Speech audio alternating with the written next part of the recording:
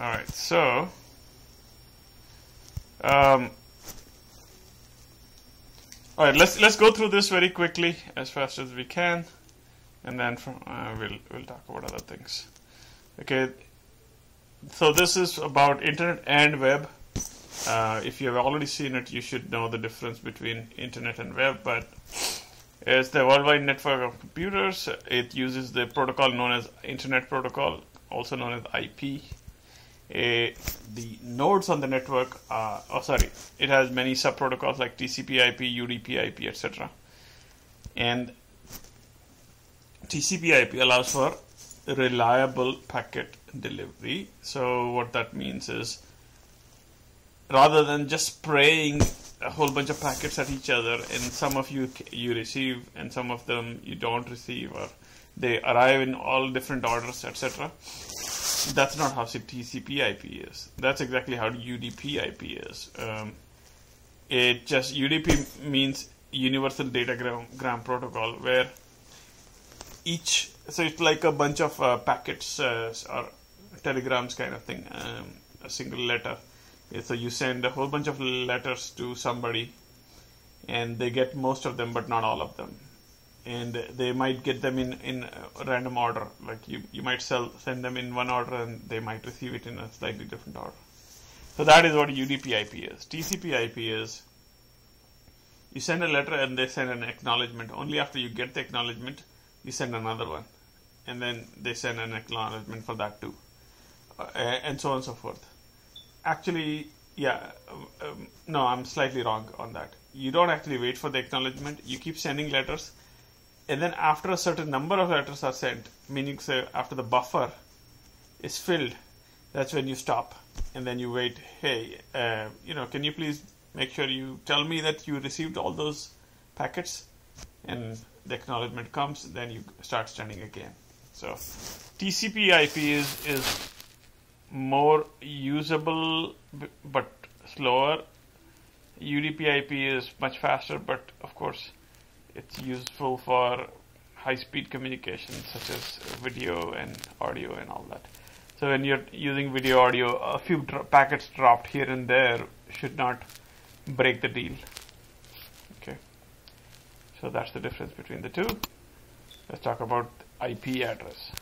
IP address is 32-bit number does everybody here know what 32-bit number really means? You know, number of bits in a number. Why is it important? I'm assuming that. What?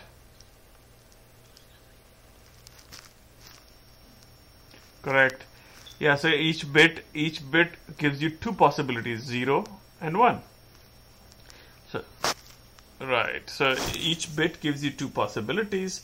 If it's an 8-bit number, that means the two possi possibilities in 8 different places, which means 2 times 2 times 2 times 2 times 2, 8 times, basically 2 to the power 8 are the number of possibilities. So in this case, when you have 32-bit number, there is 2, 2 to the power 32 possibilities, which I think is 4 gig. So that's how many 4 billion plus uh, addresses are possible.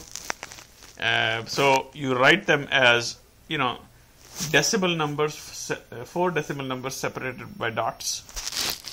Uh, so 192.168.3.55 is an example. Each number is one byte long.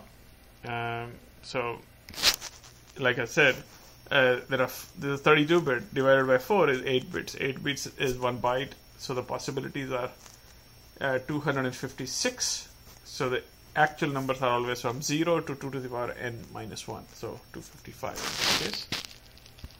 Uh, so the, uh, it, it is a unique address of the computer connected to the internet. So that means and it doesn't have to be internet it can be any network. Within that network the IP address has to be unique. Okay, and obviously the number sort of indicates to the rest of the network how to reach it, right?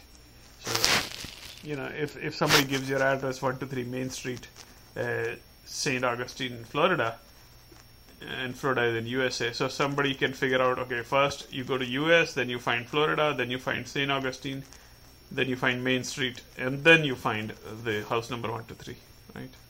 Similarly, uh, in a in an IP address, you first find the highest order network, then the next level, then next level, and then you keep make your way to this. Okay. Alright, so that was IPv4 32 bit, 4 gig numbers, right? Well, that's 4 gig sounds like a lot of uh, numbers, a lot of space, a large address space, but guess what? We ran out of the, the those. And now we need mm, a bigger address space. So IPv6, which has uh, 128 bit addresses. So I don't even know 2 to the power 128 is how much, but it's pretty big. So that's how many. Uh, that's a lot of lot of uh, nodes underneath. So let's talk about TCP/IP. We already spoke a little bit about it. TCP/IP. Hold on. Uh, let me see. So who has anybody else joined? Joseph, um, Pan, Daniel is there. Good. Okay. So now TCP/IP is is a reliable um, protocol as opposed to UDP/IP because each packet is uh, you know is sent and then an acknowledgement comes back. So if there is any loss of packets, it is tracked. Plus, the sender sends all the packets, a few a few packets that the receiver might receive them in in uh, uh, like out of order, but then the, uh, the uh, TCP/IP layer uh, combines them back into the correct sequence. So so sequence is important also. So lost packets get retransmitted because if you don't receive an acknowledgement within a certain time, uh, you just resend them without even like waiting. Because you waited for the acknowledgement you didn't get it. So just retransmit. Uh, now TCP/IP and actually UDP as well both of them use port numbers. Now port numbers are important to understand because within an IP address you can have port numbers going from 1 to 64k Hey, can you give me a second? So, uh, uses port numbers from 1 to 64k. Okay. So, think of port IP address as, let's say, your street address. Okay. Now, uh, think of uh, ports as like windows in the house. Okay. So, so imagine a server with 64,000 windows, uh, server being the house and the ports being 64,000 windows in there. Sort of like that. Or doors, if you will. So, so port number is basically an address within the IP address. Uh, so that multiple processes can run simultaneously. So one of the questions that was asked was, you know, why do we have that many ports? Well, you can either, uh, you're going to have one byte or two bytes or four bytes, right? 4 bytes is too many. 4 gig. That's just too many. 1 byte is too too little. Like 256 addresses, 256 ports is just not enough. Uh, so that's why 2 bytes um, yields 64,000, 64k uh, ports. So that's the meaning of port. Okay. And uh, the port numbers from 1 to 1024 are special ports. Um, I think uh, we should just. I'm just going to rush through this whole thing because I think you guys have seen this. You don't need to me to repeat all of this. Let's just let's just go through this. So let me just. Uh, I'll I'll just go through this slide and you ask me anything anything to ask on this. Well, from missing from this is HTTP and okay. Alright, so then the DNS names. Okay, this is something you guys should uh, uh, know, understand pretty well. So DNS names are basically, you know, whatever you type into an address bar. But then that part is easy. The, uh, but it's important to understand, you know, what a TLD is, top level domain. So .net, .com, .edu.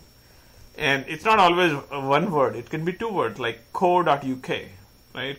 in. in, Though, the, even though it is two words, two levels, it is not, uh, it, the, the, those two together make the top level domain. Okay. So, and there are these companies that, uh, you know, sell you domains under those top level domains. So these are the host names. Let's go. The web. Built. Okay, yeah, so this is the key thing. The web is built on top of internet. It is not same as the internet. But you know, people, we, a lot of times, even us, technical people, we use terms interchangeably. Uh, primary communication protocol is HTTP, unlike internet where the primary communication protocol is IP, or you can say TCP IP uh, to some extent, or the UDP IP is there as well. But here the protocol is HTTP. Um, HTML is a document format not a protocol. CSS is the styling language for HTML. JavaScript is for client side programming. Okay.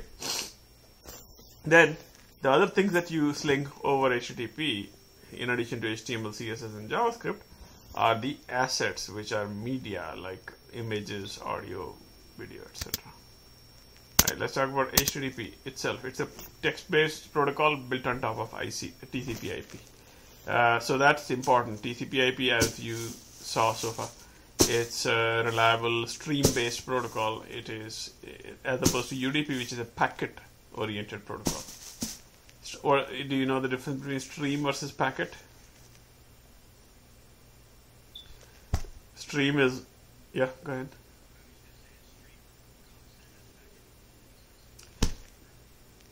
Yes. Yep, yep, yep. So packet is like quanta. Like packets are, you know, quantum packets. So you send you you don't in in a stream you start writing characters, uh, and you keep writing them, and the other end they come out in the same uh, order, but they are one byte at a time, and that's how it is. Uh, in case of UDP, which is a packet-oriented uh, or datagram-oriented uh, protocol, where you you write, okay, here is um, 80 byte message I'm sending you, and I will receive all those 80 bytes together. I will not receive parts of those 80 bytes. I either receive all of it, the entire 80 bytes, or I might receive none of it. There is no in between. So it's not like oh 80 bytes gets broken up into 40 plus 40 and I get it in two two shots. No. So that's what datagram protocols are. They, the entire datagram comes as an atomic unit. Okay, so HTTP does not use that. HTTP uses TCP/IP, which is more a stream, character by character. Uh, it's a client-server protocol, which means there is a client and a server, as opposed to peer-to-peer protocol, where everybody is the same; they're equal. Not so in client-server. It's a request response protocol where one side sends a request and gets a, uh, the server sends the response. And that's it. That's the end of the communication. You might have another request followed with, with, with its paired up response. Uh, that also is possible in HTTP with the keep alive. But uh, still, you are supposed to think of request, I mean HTTP as one request and a one and one response for that. So server examples Apache, Nginx, Tomcat. So those are very, I, mean, I hope you've heard of them. Uh, client examples are Chrome, Internet Explorer, Firefox. I'm sure you've heard of them. But also curl, which is a text-based text um, or command line browser. So it, it is designed to send. Have you guys seen curl? I hope you have, but in case you haven't, let me just show you very quickly. The curl is very simple. You go, you say a curl HTTP, uh, HTTP, let's say, on purpose, okay? Uh, www.google.com, right? And you got this, but you, so this is the response. This is the HTML you get, okay? but this is not interesting. More interesting is when you do curl minus v. That is much more interesting. Let me show you. So because minus with minus v, you will see the headers. So there you go. Now the same response, but before the response come, here uh, is the request. This is what HTTP request looks like, exactly like this. What you're looking at is exactly the HTTP request. Of course, you ignore the greater than sign and a leading space. So those are not part of the request. They are just there for formatting, but the request starts here and ends uh, here. Actually, it ends here uh, with a new line. Empty new line is also part of the request. So this is the request. Okay. What does it say? It says get slash http slash 1.1.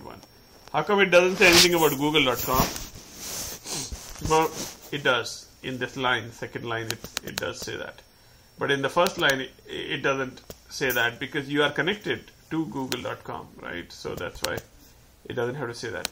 And it says, I want to get the root of your doc document tree. Okay, and I'm using HTTP protocol 1.1.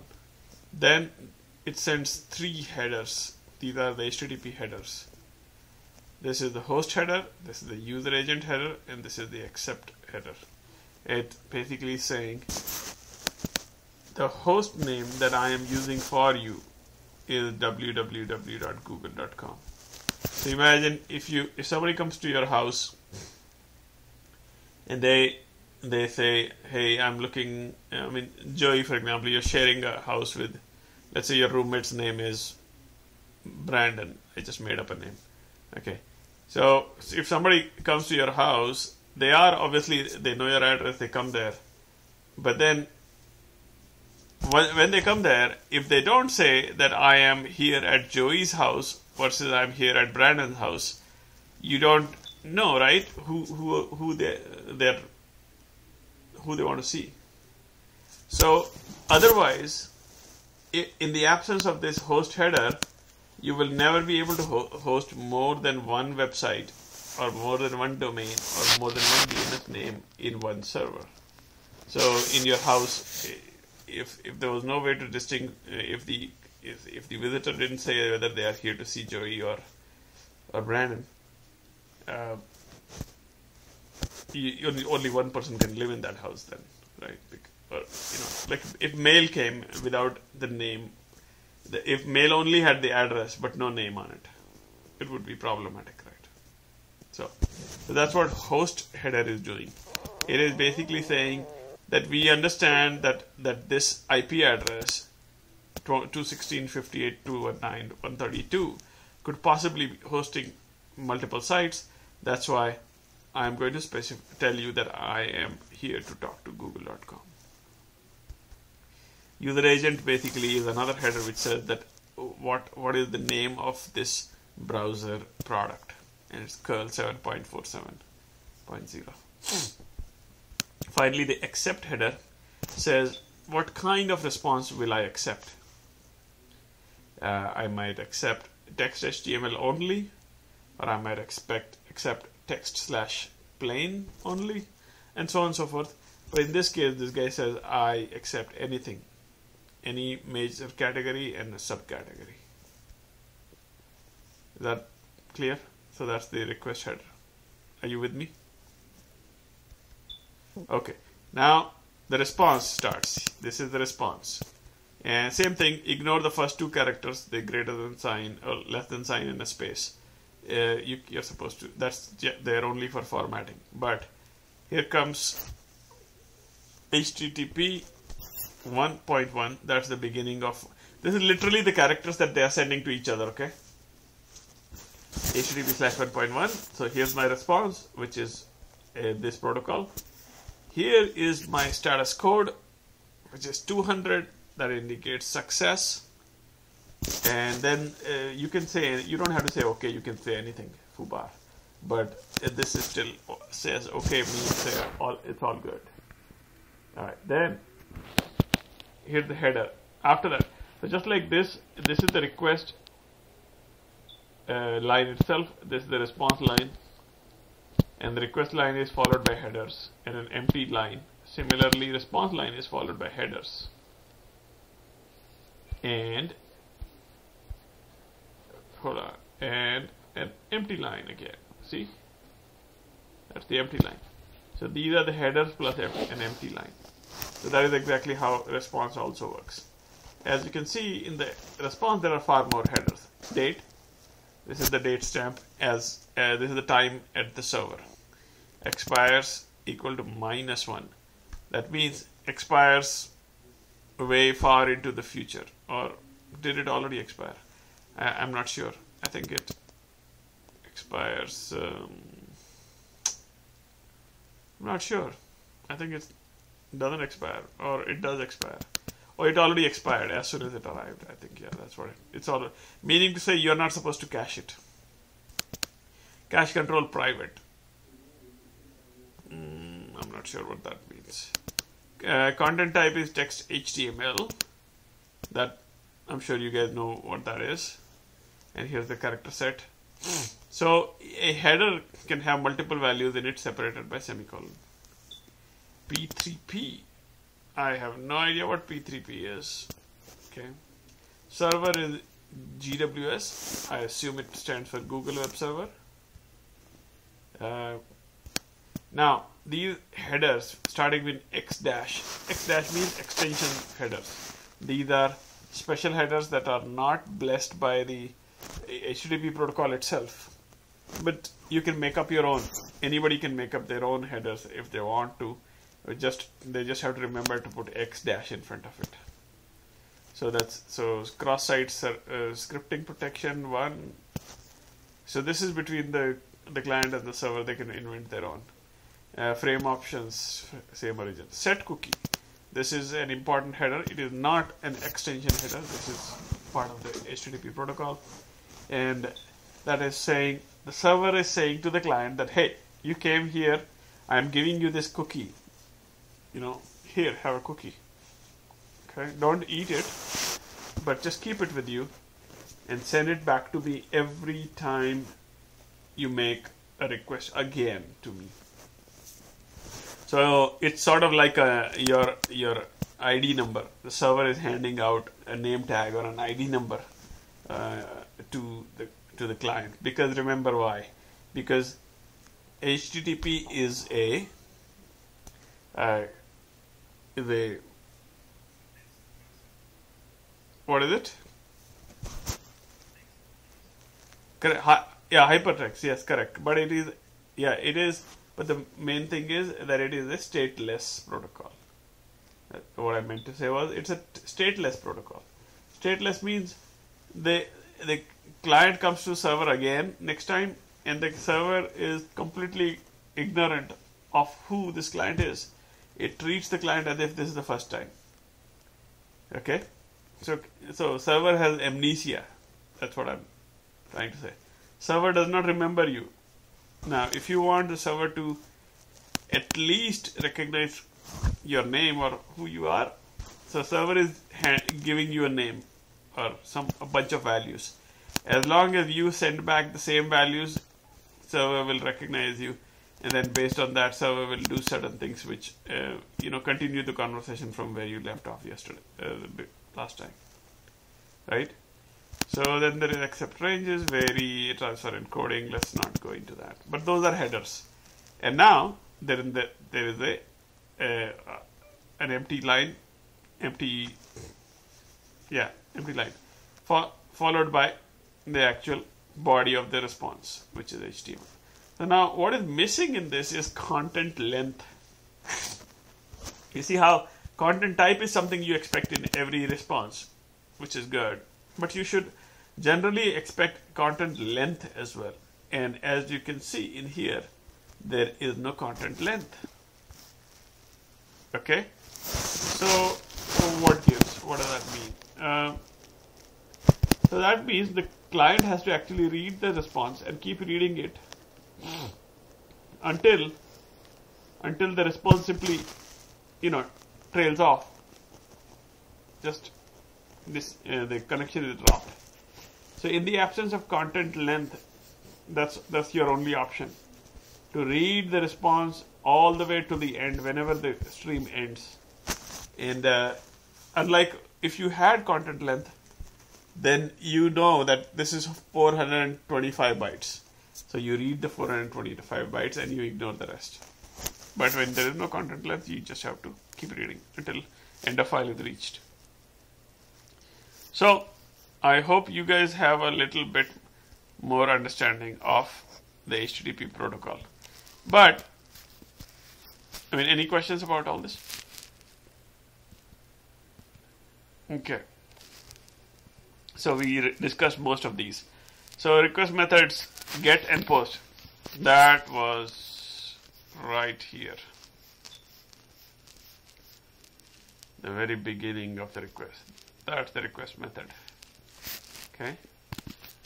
Um, so there are other request methods like so there is get and post, then there is put, attach, um, head, option, delete, and I'm sure there might be others that I don't remember right now. But uh, the get and post are the most two most common, and the rest of them are not commonly used. Okay, so but they, they, they are legitimate.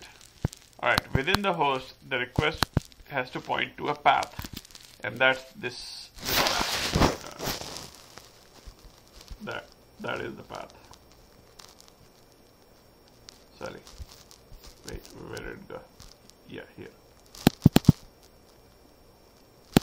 That's the path. In this case, the path is as the simplest path that can be, which is slash. Slash means root of the document tree. So usually it is more than that, slash something, slash something like that, like a directory structure. Okay, so that basically, that path basically says what document do I want or what program I want you to execute for me. Okay, and then the response, they have uh, status code like 200, which is what you saw here uh, which means okay, and then everything is good. Here's your response. 404 means not found. 500 means server error, and so on and so forth. They some requests have post body, uh, have body, and some don't, like get. So that you see how this uh, request is this is the request line. Here's the bunch of headers, three headers and that's it. That was the end of the request. No body okay? Because it's a get. Now if you were to send a post let me let me show you how to, uh, let's do a post. Although google.com probably doesn't take posts but that doesn't prevent it us from sending it. So we can say minus x post. Okay? And we can say minus minus data. Or yeah minus D. And here's our post body. This is the post body. Okay. So here's, so we did that.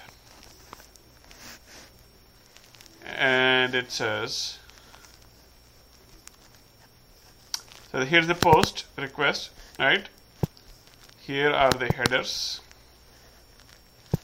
you see the content length, more headers, and content type is application X form URL encoded. So these are the headers. But where is the uh, where is the okay upload? They didn't show. You see 21 characters. You might notice that 21 is the length of that. I think. Let's check. Echo minus n wc minus c. Only one characters. Did you do you understand what I just did? Can anybody explain this?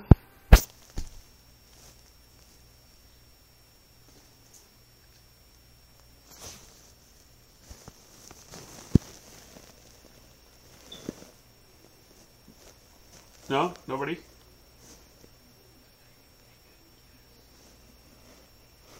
Sure. Why not?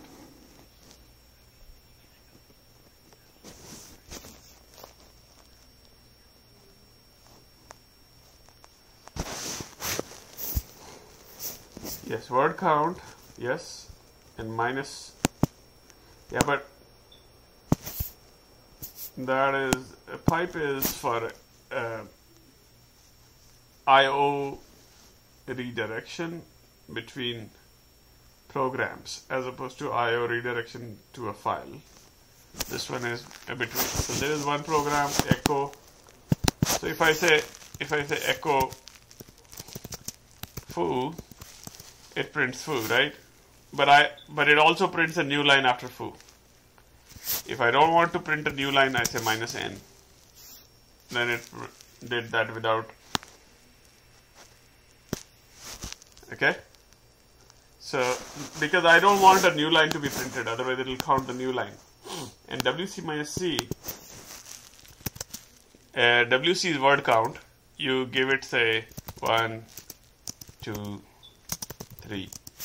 And control D, if I press, it says two lines, two lines, three words, 14 characters. If I say I just want words, I guess, so one, two, three. And it only it's it's that it's not telling me lines and characters. Only telling me the words. If I say WC minus C, one, two, three, and press Control D. Now it tells me only the characters. So echo this line, this this not line, this whatever sentence without the new line, and then count the characters. And that is 21, right? So that's why this says content length 21. Now, it did not show the body. The body of the request is in there. So I don't know why. Uh, it it doesn't print that. Anyways, it, it did. Imagine that it uh, this this line was replaced by that. Okay, so that's what it sent. Now, here comes the response. 405 method not allowed. It says, hey, you're not supposed to post to this page. You're only supposed to get.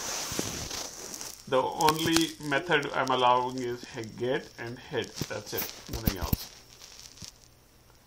Alright, so rest, rest of it is some kind of a response. Okay, so was that helpful? Understanding how get, post, what do they look like? So responses usually have a body, not all of them. Like three or four doesn't have a body, uh, and so on and so forth. Uh, request, may, whether a request has a body is, depends on the type of the request. Get does not have a body. Post does have a body. Head does not have a body. Put and patch do have bodies, and like that. Okay. So, but all have request methods. All requests have request methods they have path headers, oh, sorry, path and headers. Sorry, there should be a comma between these two. There was supposed to be a comma there. And response status codes, so that all those things are across the board. Okay, let's look at the GET request. I think we already looked at the GET request. But the main thing you have to understand is GET requests are for retrieving info, not for updating info. Okay. Uh, did you guys uh, look up idempotent? Okay. Alright, so then you should know. Wikipedia can tell you what idempotent is. Okay. So getting an account balance should be a GET request because you can query that any number of times, it doesn't change the account balance. But if you want to uh, post a back transaction, like, you know, post a charge or post a payment or transfer. Any of those will change the account balance. That's why they should be a post. They should not be a get. Okay. That's that. and DNS. Alright, so domain names need to be registered. Okay, and like spinspire.com, I registered that, and uh, the owners basically as a, as an owner of spinspire.com, I have uh, my own name server on which I say server1.spinspire.com should point to this IP address. www.spinspire.com should point to this IP address, right? So that's because I own that domain. I get to decide what name server it the, is the primary name server for that domain, and that's and I control that name server. So I decide where the various subdomains and the hosts etc point to, right? Now, the client, if and client could be again me myself on my home computer. Uh, so uh, as a client, I will be using Comcast or Verizon or whatever, some such name server. That name server is going to eventually terminate into my spinspire.com's name server and ask, okay, well, I'm looking for www.spinspire.com. What's the address for that? And it says this is the address. Okay. All right. So let's go to DNS records. This is something you should understand. So there are, yeah, yes, yes.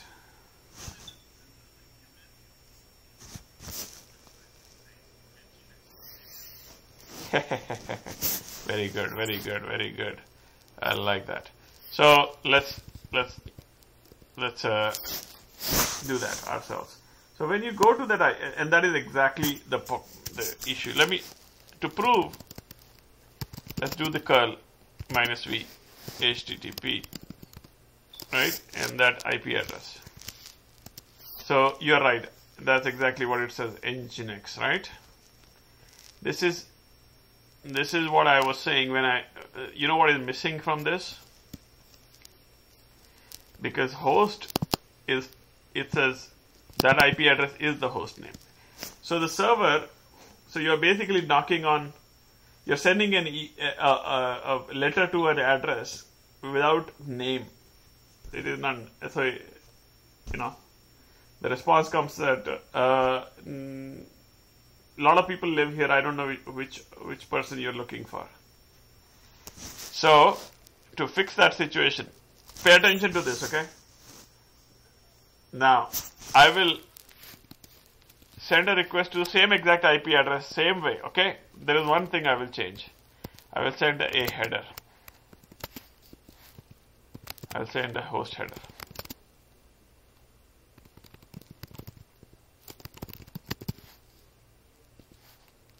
Okay. Now watch.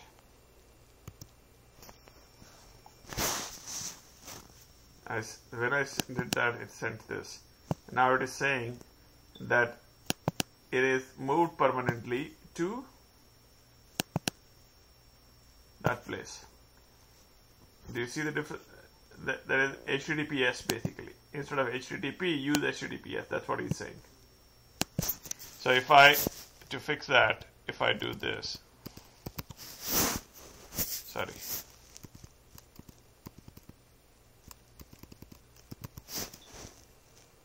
It says, uh, wait, this is not valid HTTP, the certificate doesn't match that IP address. So let me just say minus K and then ignore the certificate validity. And there you go. I get a real now I got the real spinspire.com uh, front page. Now let me once again explain what happened here.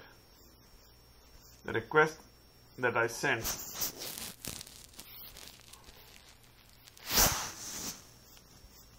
is too much, so let, let me just uh, pipe it, pipe this through less or something.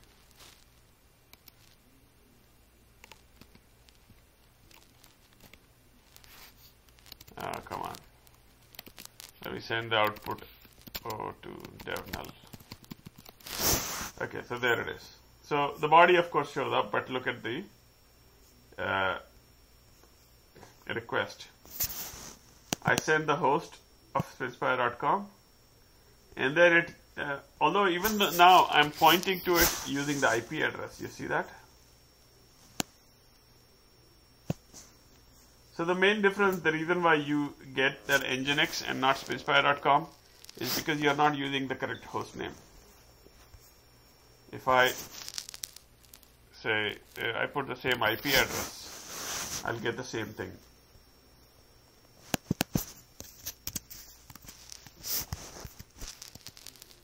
Okay. But if I say www.spinspire.com or just whatever then it will go through through the redirection and most importantly it will send a host header uh, let me show you here it will be more meaningful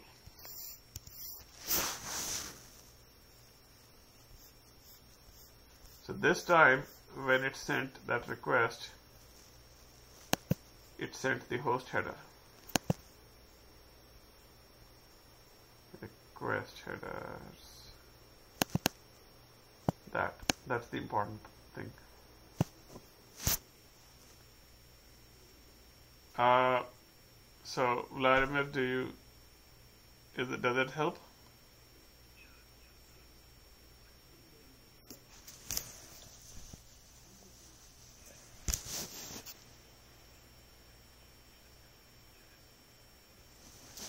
Oh yeah. Oh yeah. Of course. Yes, I do. That's the thing. Yeah, you're right. So in fact, if you if you, you even if you send it to the right, uh, let me show you something else. Let's say that you send it to the correct host name. HTTPS. Okay. Everything is correct, right? Of course, you will get you'll get the right response, uh, right website like this. Okay, wait, what happened?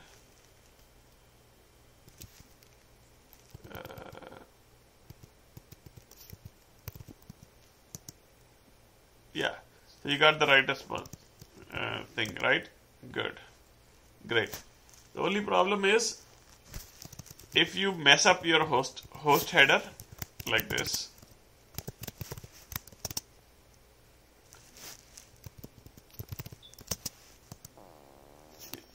See, you got nothing. You get something else. If you put the host host in, you, you got a different uh, website. Okay. Alright, so let's keep going. Okay, so DNS records. You have different types of DNS records. The two records that you must know the difference between is A records and CNAME records. A records name points to a value. CNAME records name points to another name. That's it. So let me show you an example. So if I say this is host in Linux is a hostname lookup tool. Okay, say host spinspire.com. It says spinspire.com has address of this, right? But now watch what happens when I say www.spinspire.com. www.spinspire.com is an alias to spinspire.com. And then it makes another uh, lookup to say if spinspire.com is pointing to this. So this is a case of name pointing to another name. While this is the case of name pointing to an IP. So therefore this must be this record is what type and tell me what, what is this type, this one. So first one is is of type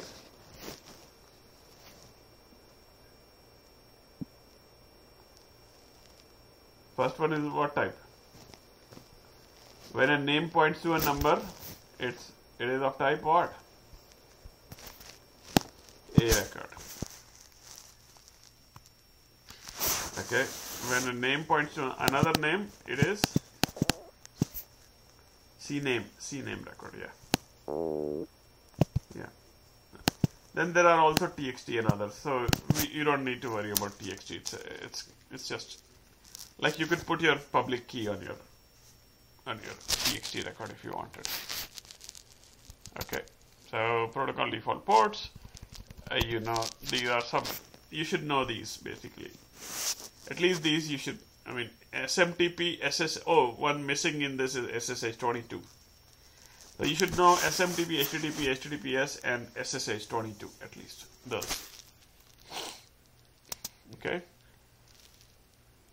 URL. What's the URL? You should be able to break down a URL into, into its part. So here is the scheme. Scheme is not exactly same as protocol. Usually this they might be same but not always. Like the case of mail to. Mail to is not a protocol. It's only a scheme. Mail to will use SMTP protocol to actually send the email, but it's just a scheme, naming scheme. So plus you must understand that HTTPS is not the scheme name. This is the scheme, the whole thing. Okay. Alright. Then comes the DNS name. So DNS name is up to this point or the host name. Okay. Then comes the path. That's the path. Then comes the query string. That's the query string. And then comes the fragment. That's the fragment.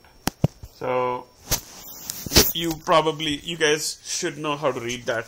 I don't need to go through the details. Page loading. Now, so you enter URL, DNS lookup happens. I, I think you, you guys, I don't need to explain any of this. Can I, do I need to?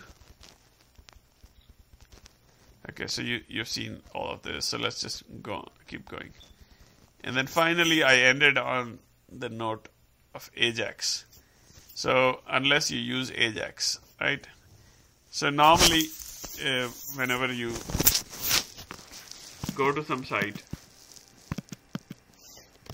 right, and let's say you go to switchpy.com, and now if you look at the network tab, okay,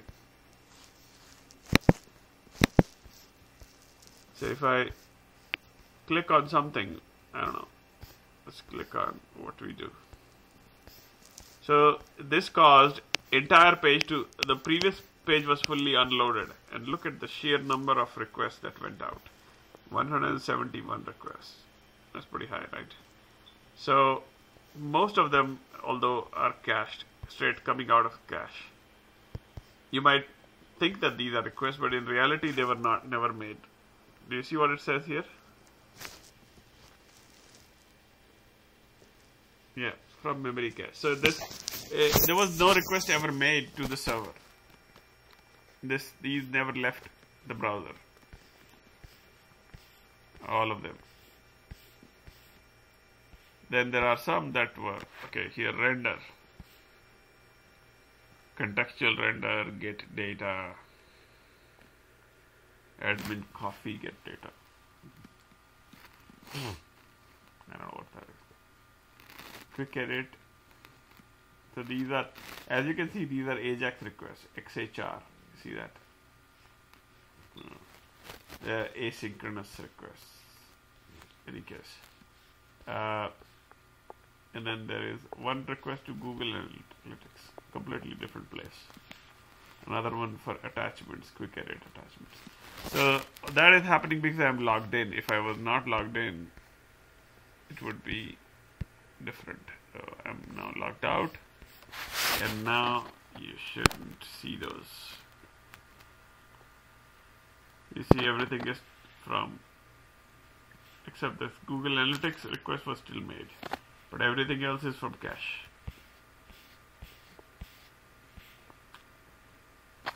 So when when we issued a logout, logout, by the way, was a GET request, and it in, instead of producing a response, it said it redirected. 302 temporary redirect. And so it just sent you to the front page. Okay so that's the location header. Tells you where to go. All right. So that's uh, that's the recap of the you had some questions Joey or did we already cover it? Hmm. Okay. Does anybody have any questions?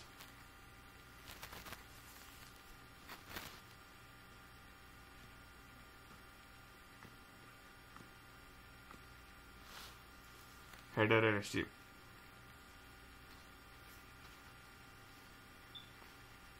What are you talking about? Um, you talking about here? I mean, I didn't get it. Uh, in in this, uh, what is between header and body? Oh, you mean head and body? Head and body. Okay, okay, okay, okay. So, oh, you mean in here? Do you mean this?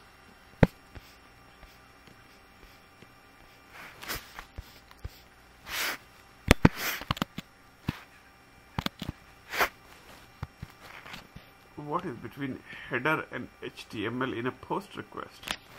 I am not able to understand the question.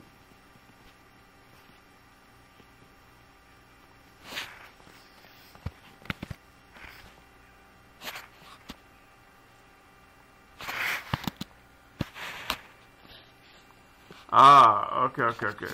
So you're saying I should run the post request again, right? Just to see just to show you, explain to you what's going on. Okay, so let's try this, right? Okay, and now, what, so here is the header of the request headers. Then there will be the post body, which they hide for some reason. And then there will be response response headers and then the response body. Make sense? Okay. Okay. Any other questions?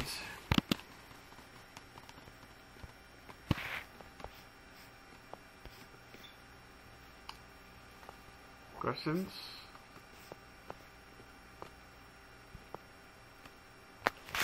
Okay. Um, so the next thing I was going to discuss with you guys was writing a simple TCP/IP program, like a server, uh, writing a server and writing a client also.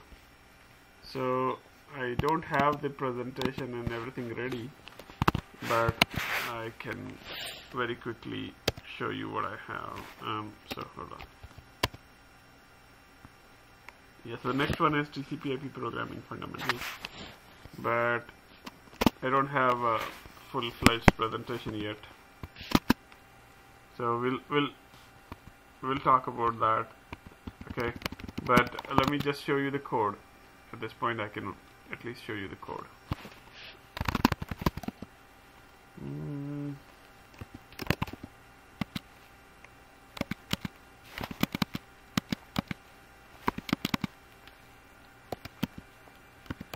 So here I have written, and I didn't write it, sorry, I, I actually googled it and I found some good examples. Client.c, client in Python, server in C, and server in Python. So let me show you the Python version. Even though you might not actually uh, know Python, but it's very easy to read, very easy to understand. So don't worry about it if you don't know Python. So let me see. So this is server. So let me show you. Before we run this, uh, before we do anything, let's run them because that this will show you what the server will do and what the client will do.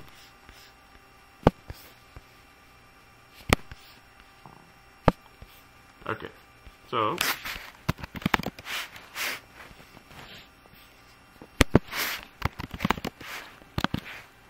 Uh, let me run the client. It says, uh-oh, client failed, could not connect. It says, see how here it says fa file. Uh, what is this? Socket error. Connection refused. Right? So that is the first rule of client server. Client doesn't start first. Server starts. It starts first. Okay? So that's why you need to run the server first. Because server start uh, binds to a listening port and then waits. So server has uh, started listening on port 10,000. Okay. Now the client runs. Okay, that's it. Done. The client sends this message. This is a message. It will be repeated. And then the server receives it and but he receives it in 16 byte chunks for whatever reason. That's how he likes to read. He read this, then he read this, and then he read this.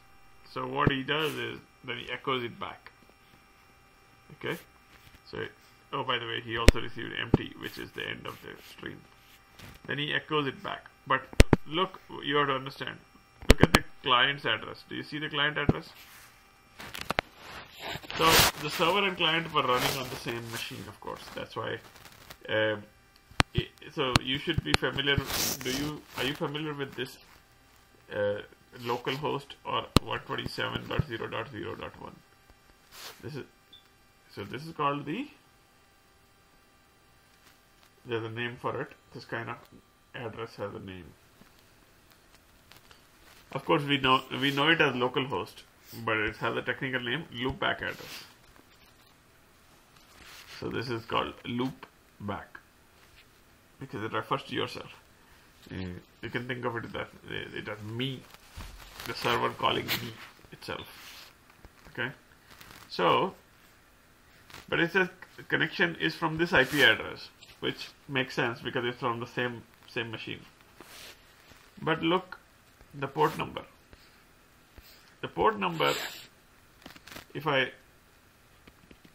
if I clear and start let me just put a little gap and I do this again.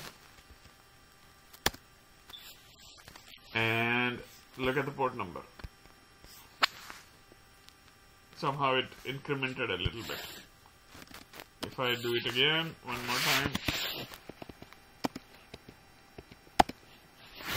It incremented a little bit again. So the point I'm making is in a client client server TCP/IP communication, the server's port number matters a lot. The client's port number doesn't matter a whole lot because client is not the one waiting for a, the server doesn't need to find the client. The client needs to find the server. So that's why server's port number is, is always fixed. IP address and the server's IP address and, uh, and port number they should be fixed. So the server should be easy to find basically. The client doesn't need to be easy to find. So every time the client uses some random port, whatever port it can grab, it, it doesn't even care. So that's the first thing. Then the second thing is the client is sending a chunk. And the server is reading it 16 bytes at a time so that's why it gets broken up. So when the server sends the res response they send it back in 16 byte chunks. These are 16 bytes. So that's why it comes back broken up like that. Alright, now that we have seen what it does, let's uh, take a look at the code.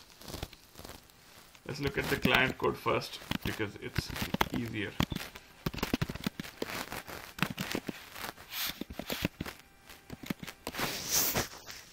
Alright, so ignore everything else because we are going to focus only on TCP IP.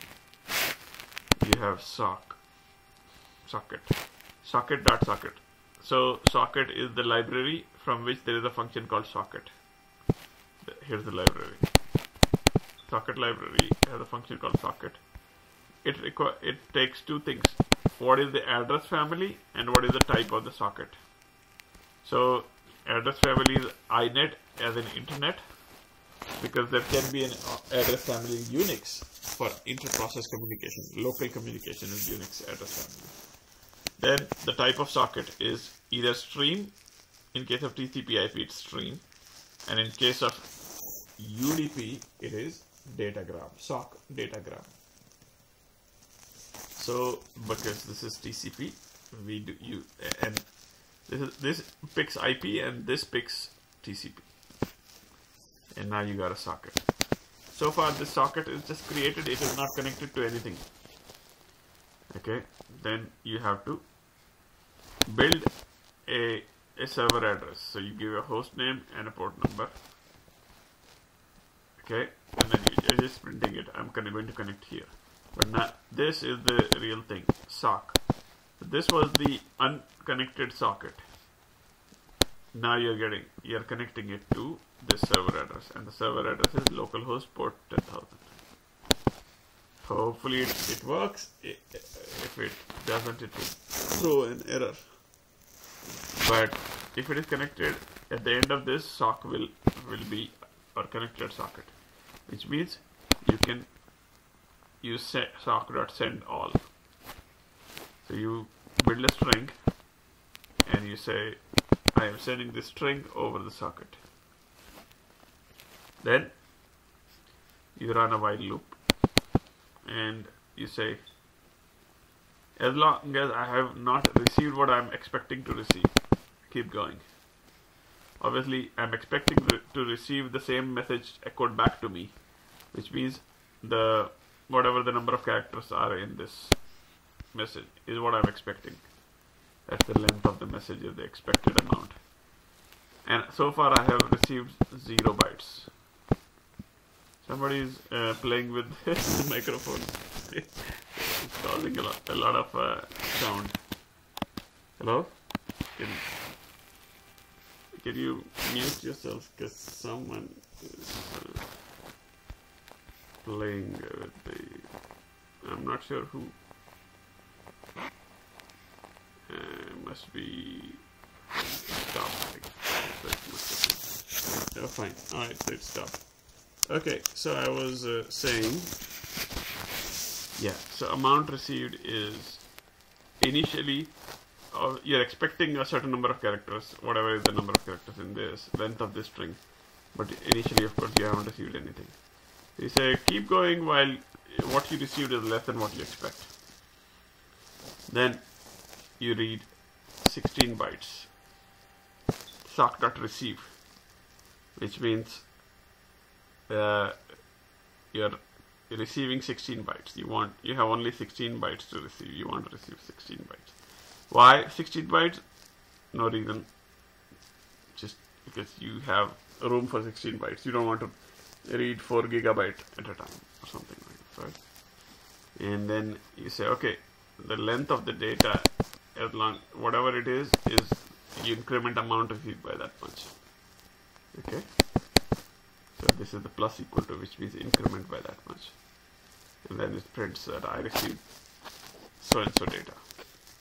And you keep going that while loop continues of course until you have received all the bytes you were expecting so that is the client I hope it was fairly clear what the client was doing any questions about the client? Client is simpler than server, so that's why.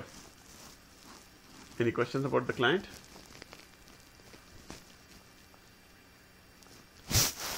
Alright, let's talk about the server then.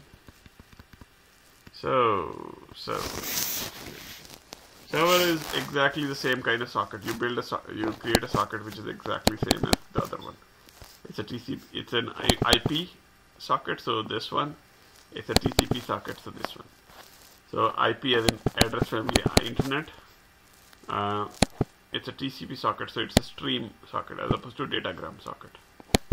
So it sock.stream underscore stream, which is what TCP IP is. TCP IP is stream oriented, and, uh, TCP UDP IP is datagram. Then, so you build a socket. At that point, the socket is unbound to anything you, you build you create a server address which is pair of the host name and the port number. When you bind it, you see how the, here this guy did a connect, but this guy doesn't do connect. He binds it. What does that mean? That means that it's a you know a socket is, an, is a Unix concept, not a networking concept. Server address is, is a networking concept, and with this you combine the two. You said, here's my Unix socket, Unix concept of a socket. Let me combine it with the networking concept of an IP and a port, and now the socket is bound to both. Then this is what starts the server.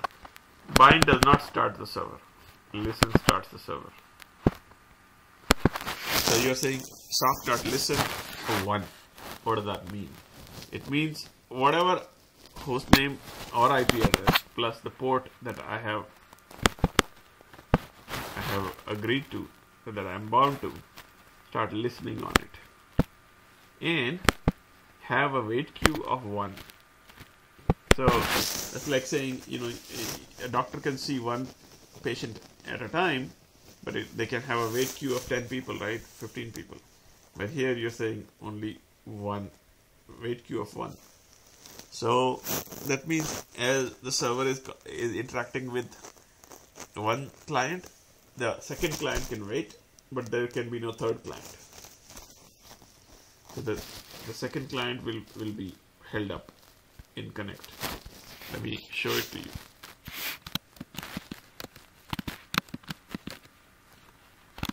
So here's the server running and I want to basically cause a certain delay. So I'm going to do client.py. I want to basically cause a long delay. Okay. Um, before I send, I'll just sleep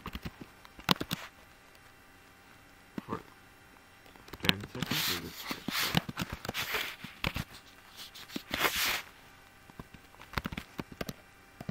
I don't even know how to put it. Sleep is not a Wait, how about sys.sleep? Let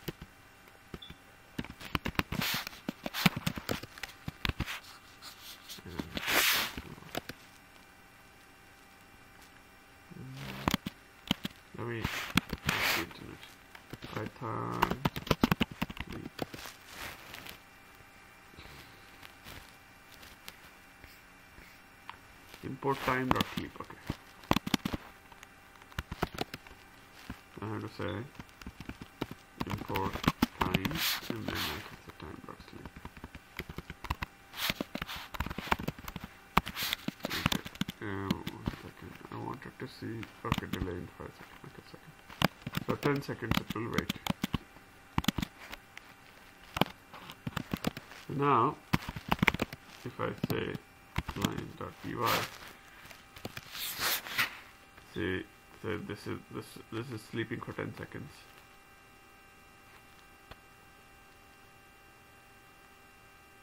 And it finished okay? So now if I do open a few more windows okay? Here this is the first guy. Oh sorry I should cd to the sorry um, yeah now I'm in the same direction. I run the client. This is the first client. This is the second client. It's also waiting right? But now the third client let's see if it can wait third is also working okay. I think the first one might have finished by now. Yeah it finished. Uh, sorry I'm not able to show you. But basically at some point they will they will stop working. Uh, I want to show you but I'm not able to show you. They'll start getting refusal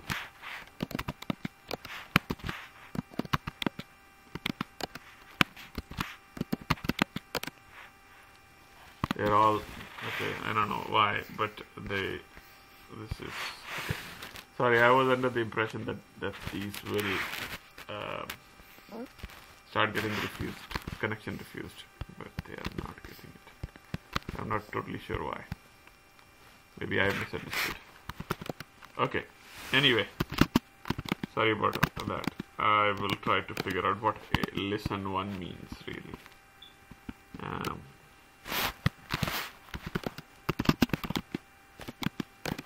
okay. So to this.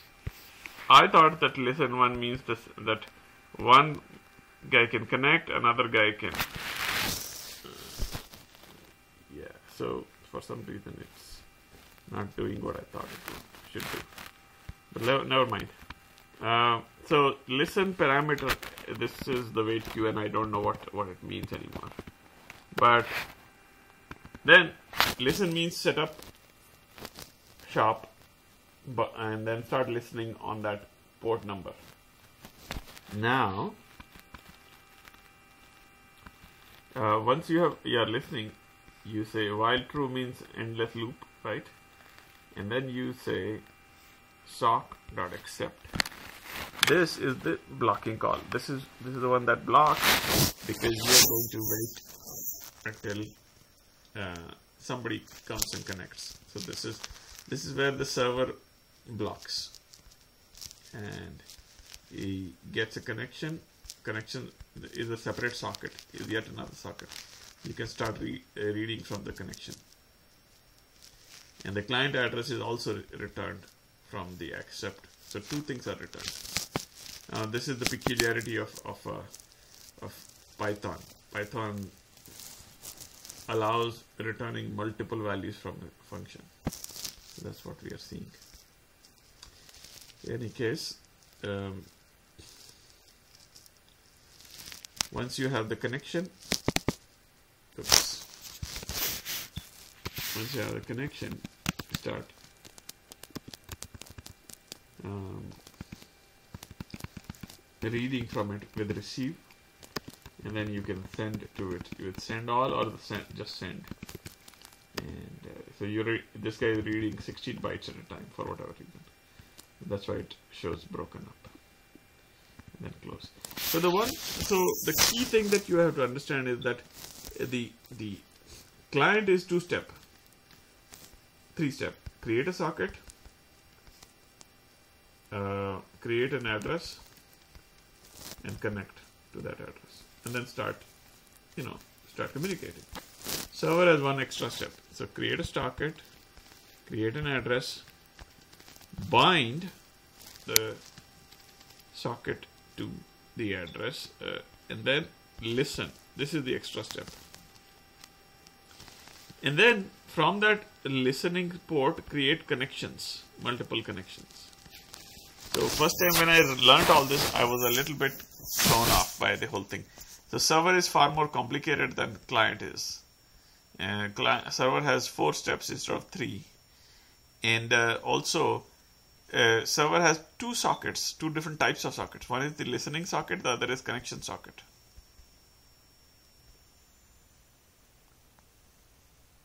Okay, that's all I wanted to show you about this. Make sense? Probably not. But uh,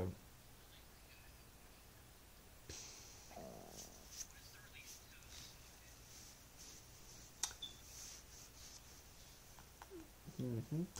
Good question. Very good question, actually. So, socket is an internal concept, internal to the process, to programming. It's a programming uh, or an API concept. While a port is not an API concept, Port is an external concept. It is it helps in establishing the address of the endpoint. So, so port is something.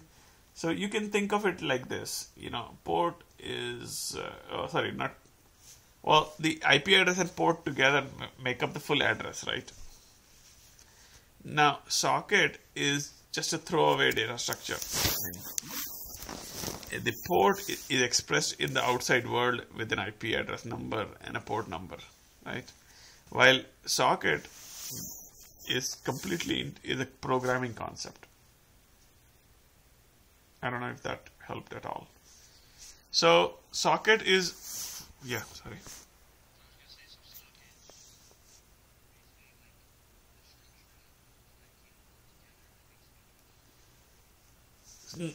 Well, no, that is this guy. Server address is that. Okay. Socket is a transient concept. Basically, so, socket is, is, is like a use and throw you create a socket, you bind it, and then at the end of it, the socket is socket is sort of like an object, like a data structure, as opposed to as opposed to port, which is not a data structure. Port is the number, is an address. So the same IP and port combination will spawn thousands and thousands of sockets.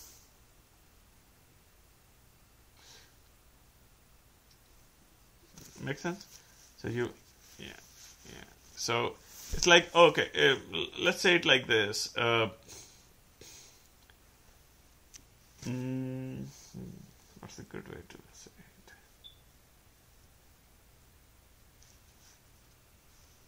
Um, well, yeah. Think of it like this. Um, you know, if I'm speaking and you're listening, my mouth is sort of like a port and your ear is sort of like a port, let's say, right? But every conversation we have can be a socket. And every word in that conversation is sort of like a packet that goes. So each time we could, yeah. So so socket is transient. Each connection is is socket but the port doesn't doesn't doesn't disappear at that point. Port is still there, even if when nobody is listening on it, port always remains. So, so plus of course then port is is externally visible in the sense that when I say visible, I mean port is outside the machine. You come into the machine using IP and port. And inside the machine, it manifests itself, that particular connection manifests itself as socket. Okay. All right, what else? Questions?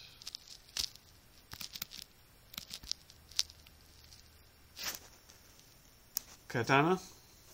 Anything?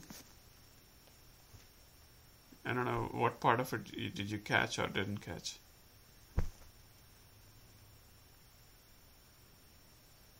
Uh, any questions, anybody? Hey, Katana, are you there?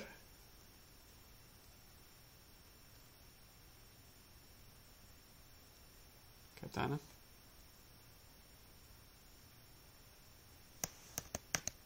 Hello? No? Okay.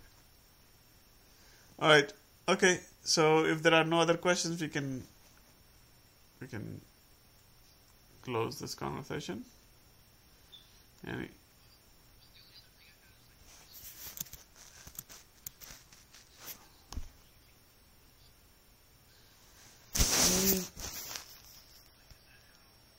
No, it's very. It, it, there is no. Uh, uh, I'm glad that you asked that question. So let me, let me uh,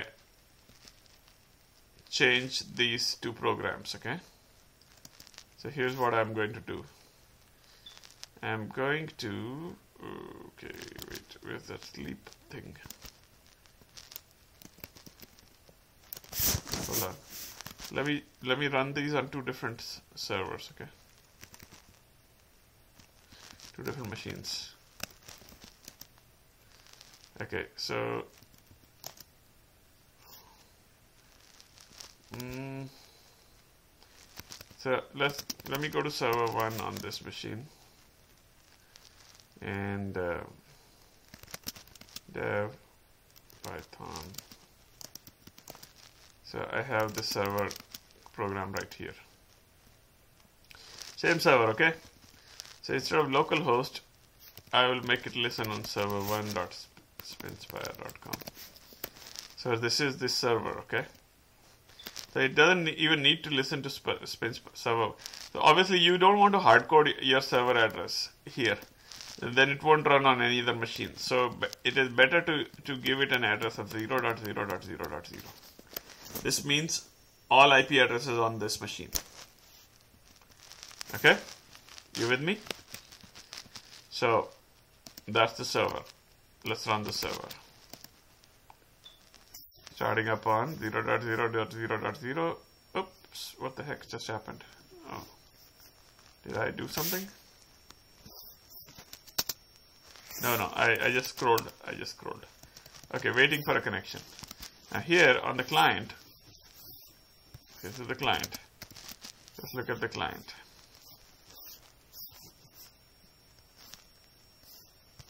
Client.py. Here, instead of connecting to localhost, let's connect to server1.spinspire.com. Now, how come I cannot say 0.0.0.0 here?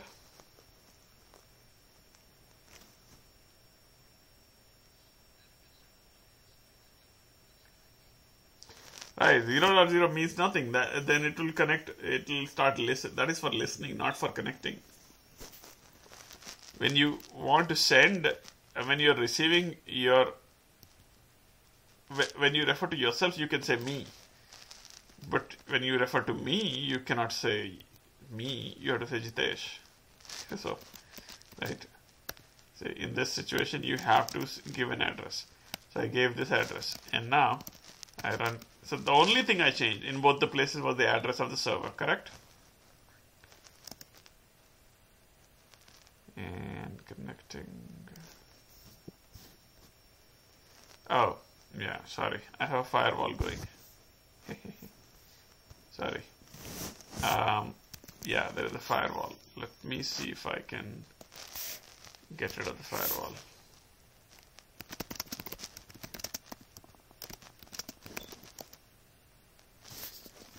I stopped the firewall. Let's hope this works. Yeah, it worked. See that? Did so this is to show you that there was nothing special about that localhost thing. You replace it with an, a real IP, a real address, and it it all works. Am I making sense? So uh, and I had to, uh, at first it didn't work because there was a firewall running U UFW firewall. And I, I'm just going to put it back. So now it's running again. So the UFW firewall is uncomplicated firewall. It simply drops every packet that comes in at an unauthorized address. A any, any, if I say so UFW status, it will tell you. So, oops. So it says I allow. You see, I allow port 22. I allow from anywhere. Port 80. I allow from anywhere. Port 443. I allow from anywhere. That's it. And then the other is IPv6. Everything else I drop. So as you can see, port 10,000 is not in the list. So that's it just dropping packets. So I just had, I turned off the firewall for a while and then tested. Okay, so that so in other words, there is no difference between client and server. Uh, I mean, sorry, uh, no, no. I mean, there's no difference between local uh, connecting to localhost or and li listening to localhost versus doing the same thing for public IP addresses.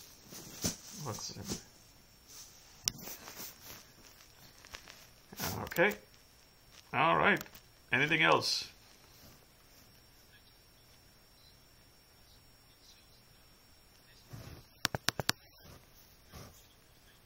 Mm-hmm.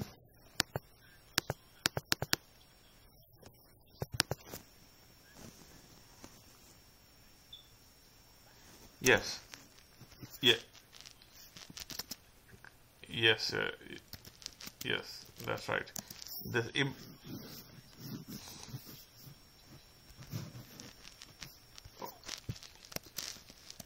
uh, yeah, I could have done PHP. I agree, but. Uh, I found a good example. I like Python in general. It's a very clean language. I, I, although my whole business runs on PHP, I don't like PHP that much. I mean, I could have shown it in Java, but Java is, is not a good language for just pure uh, reading, quick reading and all that. It requires some knowledge.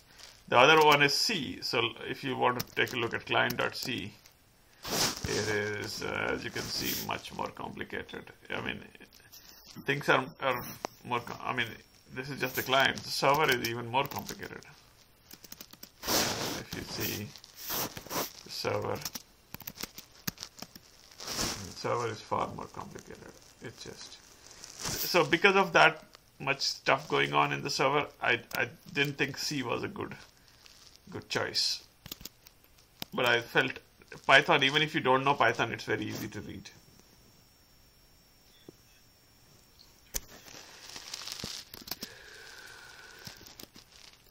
Yeah, but but the purpose of this exercise is not to teach you Python or even teach you uh, TCP/IP programming. Also, is not the purpose. Okay, the purpose is to teach you TCP/IP concepts.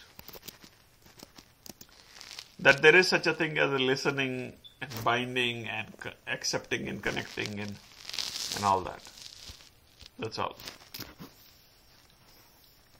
Because in in your real world you're not going to do most of these things. But you should have some experience with it so that you understand the basic concept.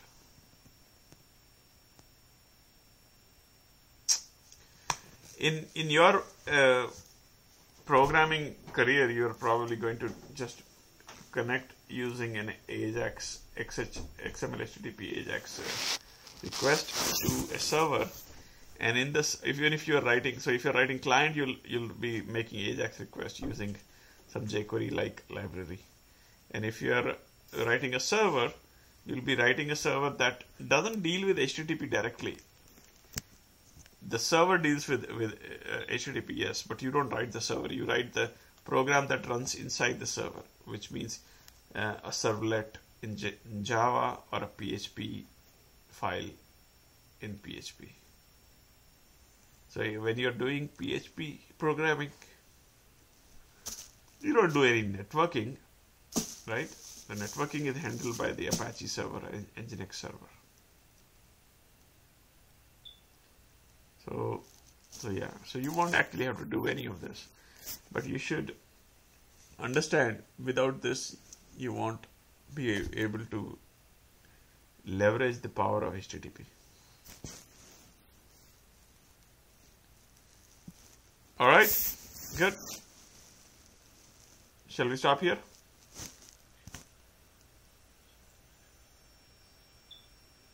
Yes. If you think, uh, yeah, if you cannot make it, we can move. Like, we don't have to do it all three days.